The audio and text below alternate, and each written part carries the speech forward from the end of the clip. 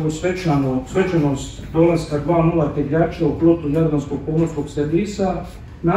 nastavak je svih tih pozitivnih priča koje imamo ovdje u Rijeci i te priče i taj uspjeh postaje neodvojiv od Rijeke i njenog razvoja, odnosno transformacije Rijeke koja je krenula prije nekoliko godina. Sve ove investicije mijenjaju Rijeku, tu nam još ostaje realizacija i početak realizacija Marine Porto Baroš, koja s jedne strane Rijeku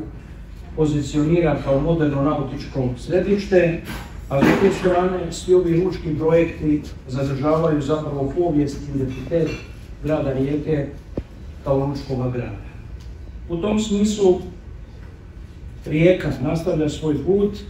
da razvojni put u pozicioniranju u glavno intermodalno središte Sjevernog Jadrana,